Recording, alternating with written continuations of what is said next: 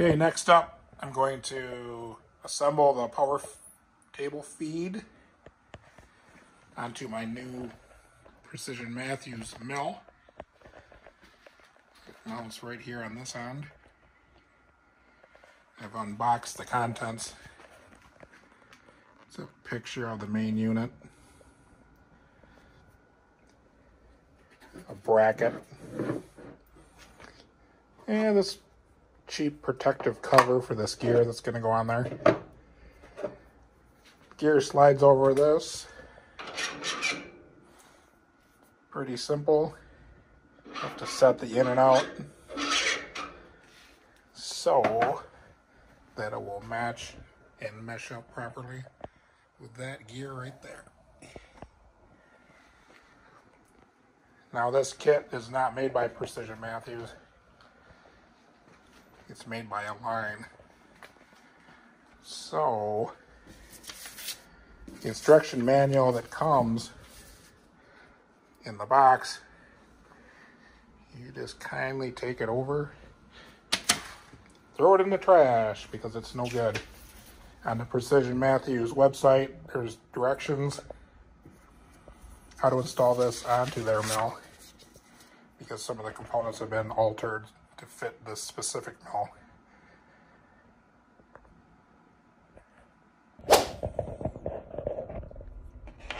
This has an automatic shut off micro switch that needs to go on there. So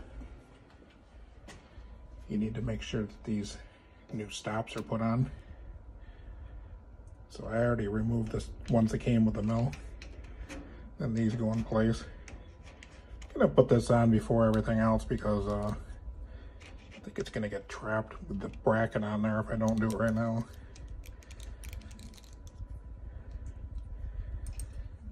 And I did one on the other side as well. And then this front one that came with the machine needs to come off.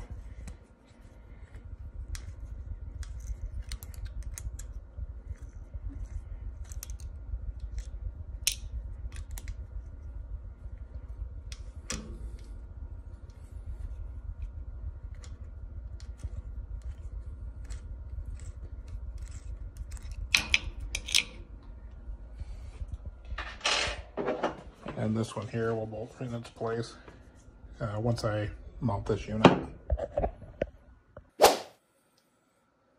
All right, I took the stock one off.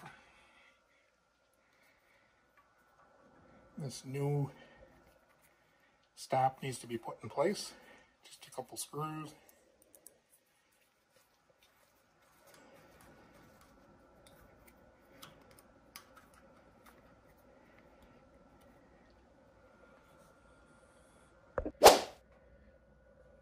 All right, next you put one of these, uh, this bracket here on.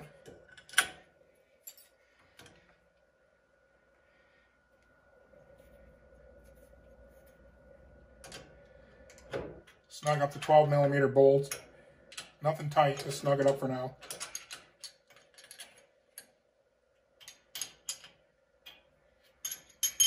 They'll have to be uh, aligned side to side um, when we start meshing the gear with the motor. And then next, uh, put your key in place, put the provided gear in place.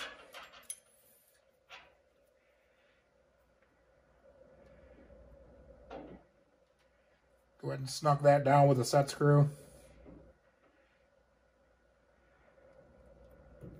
Now, just snug because you may have to move this outward to line up mesh with the gear on the motor.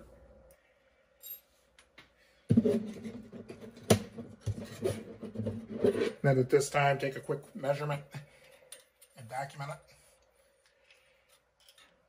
From this face to the back side of the gear. And 2.7 is going to work.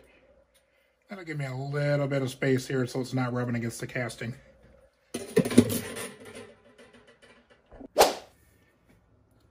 All right, next, the other side of the bracket, you need to mount to the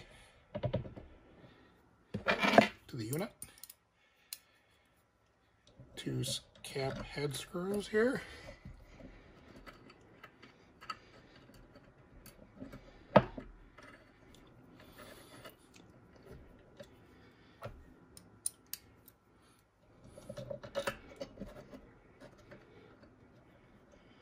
Get this to line up.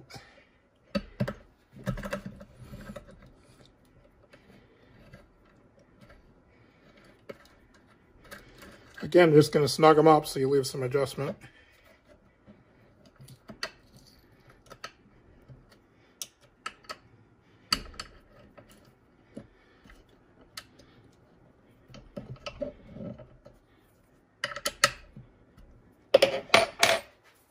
Now it's ready to be put on the mill.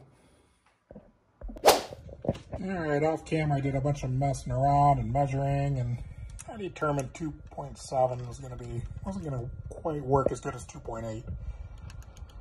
So if I had a straight edge across here right now, measuring into the back side of the gear from this edge, 2.8. So I adjusted this out just a little bit. So 2.8 lines up. And I tightened everything down. Except not these two yet. May need to adjust side to side for gear meshing. Okay, off camera I did a pre-installation. I got this set up so that that round tooth is not hitting on the housing that I showed earlier. So it's equal distance between here and here. So I went ahead and tightened these two screws. Now everything is lined up this direction because of the dimension I took. And I can set the up and down clearance between the gears with these two screws. I like that piece of paper. It's about three and a half thousandths. I'm going to try it there. I think four thousandths is what most people do. Well, let's give it a shot.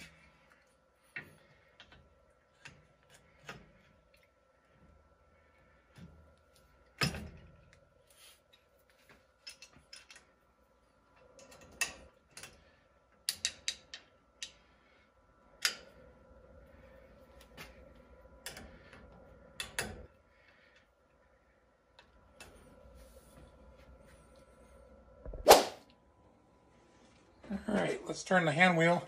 That piece of paper should go right through. And it does. So we know it's touching on both sides. So now I'll tighten the screws up. All right, install's done. Messed around with the gear meshing just a little tiny bit. Tapped it around a little bit. It was a little bit loud for my taste. Had to put a little bit more in it. But there's a little bit of noise. Nothing terribly bad. Yeah, click it on. Go this way. Rapid traverse.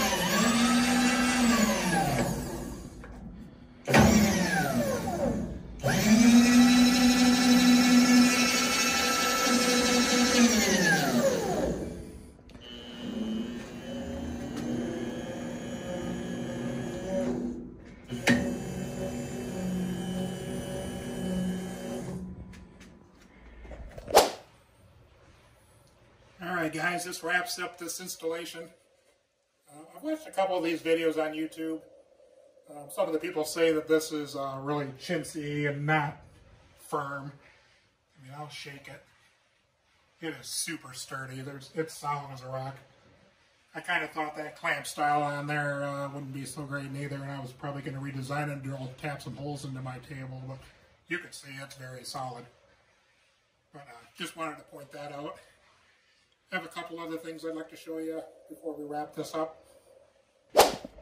So one other thing I had seen watching some YouTube videos, uh, someone was uh, very concerned that when you turn this on, the LED light doesn't doesn't show you that it's on. Uh, that's because that's a circuit breaker light. If it trips, then the LED will come on. what you really need to look at is that green light right there tells you if it's on or not. There's off, there's on. Off camera, I also hooked up the limit switch here and here. I temporarily put a, a stop here and a stop here so you can see how that works.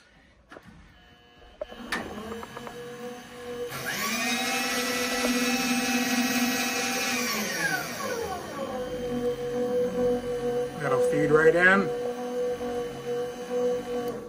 Trips it. Go the other direction.